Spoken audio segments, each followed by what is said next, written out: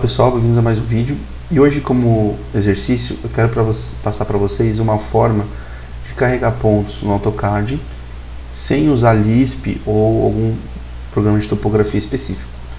Para você carregar pontos no AutoCAD de forma grossa, ou seja, sem layer configurado, sem bloco atributado, somente o point, você precisa ter uma tabela. Então aqui eu tenho uma tabela no Excel com três colunas, co coordenada x, y e z. Você tem que verificar na sua tabela se ela está em ponto, não em vírgula, porque no CAD o separador decimal é o ponto. Tá? Então no caso aqui está em ponto, tem que verificar se não tem nenhum caractere. Aqui, ó, tá vendo que tem uma, uma aspa aqui, ó, na frente do número. Nesse caso, você seleciona aqui todos os números, dá um Ctrl C para copiar, coloca aqui numa célula em branco, botão direito do mouse ó, e vem aqui, ó, colar como valor, tá? Que aí ele tira, tá? Aí você pega aqui, ó, deleta, seleciona essas aqui e desloca pro lado aqui, tá? Certo? O que, que você vai fazer? Você vai pegar essa, essa tabela aqui e vai salvar como CSV, tá vendo? Salvar como, aqui ó, você vai colocar aqui ó, CSV separado por vírgula, tá? Então, vai dar um salvar, ele vai perguntar sim, beleza. Aí, essa tabela você vai abrir um bloco, um bloco de notas, tá? Ó, tá vendo aqui, ó, botão direito, abrir com, bloco de notas, tá? Você vai abrir um arquivo aqui, ó, tá vendo? No caso aqui, o que está separando uma coordenada do outro é o é, ponto e vírgula. Então, eu vou apagar esse, esse título, certo? E aqui o que eu vou fazer? Eu vou substituir a vírgula pelo ao ponto e vírgula pela vírgula, tá certo? Então aqui, ó, olha só, eu venho em editar, substituir. Digita aqui em localizar no ponto e vírgula e aqui embaixo a vírgula. E coloco substituir tudo. Ó, substituir.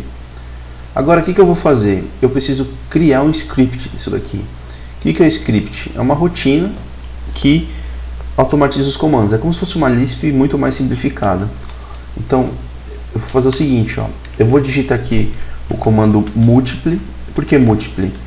Para você repetir várias vezes o mesmo comando. Então, eu vou digitar multiply, vou dar um enter e vou dar o comando aqui, ó. Point, só isso.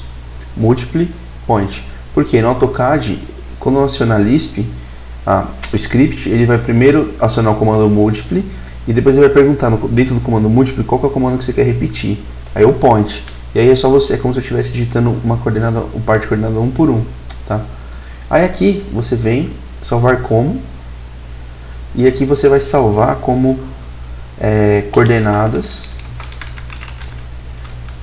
SCR, que é a extensão de arquivo do script, tá?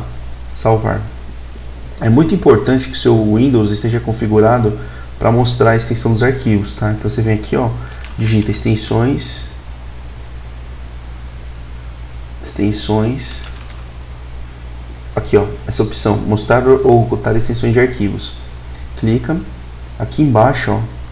Tem que ter essa opção aqui ó. É, mostrar mostrar ó, essa aqui ó. Não não pode estar é, ticada essa opção ocultar as extensões dos arquivos. Tem que estar desabilitado. Então dá um ok. Tá vendo ó que eu só vi o arquivo CSR ele apareceu aqui com o símbolo do CAD, tá? Então você vem aqui no AutoCAD, no arquivo, né? Aqui eu já tenho os pontos cotados, tá vendo? Então eu vou criar um arquivo novo, tá? Arquivo novo aqui. Vou digitar o N, né? Então vou colocar unidade de metros, tá certo? Precisão decimal do ângulo 3 casos depois da vírgula e dou um OK. Aí ó, eu vou digitar load, certo? Load não load não, desculpa, app load, tá? app load. Ou se não, você pode vir aqui, ó, manager, tá vendo aqui, ó, manager, e clicar nesse botão aqui, ó, load application, tá? Vem aqui na área de trabalho. Ah, não, isso aqui é para Lisp, desculpa, você vai ter que digitar script, tá? Script. Dá um enter.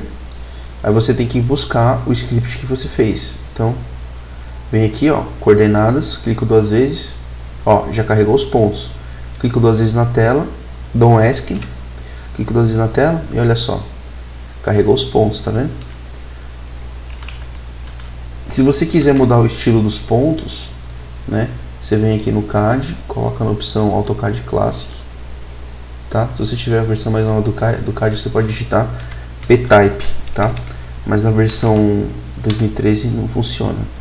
Vem aqui em Format, Point Style e muda o estilo.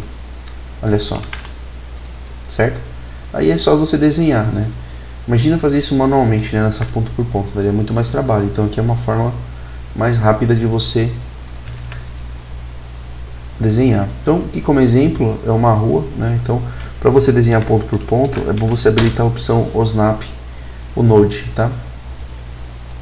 Só deixa o Node ligado, então você sai desenhando aqui, ó. Então aqui eu tenho a guia, né?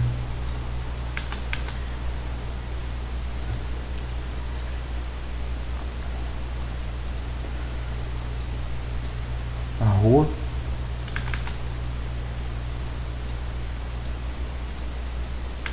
Aqui eu tenho as divisas de alguns imóveis. Certo?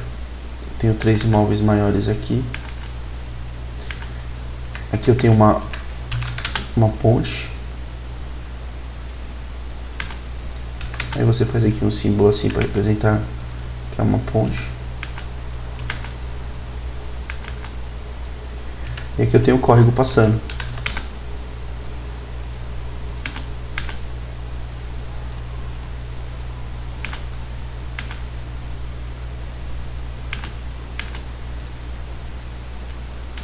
Certo? Para fazer o córrego eu uso o comando spline, que seria a curva francesa. Então tá aí, tá? Repetindo, vamos repetir mais uma vez? Vamos lá então. Tá com o arquivo aqui, certo? Pode fechar. Digita app load.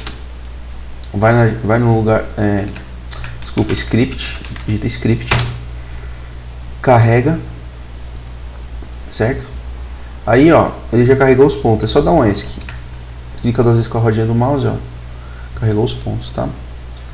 Como eu falei, é formato bruta, ele não configura layer, não cria bloco atributado, é só para você lançar os pontos, tá? Então é isso, pessoal, espero que vocês tenham ajudado e bons estudos.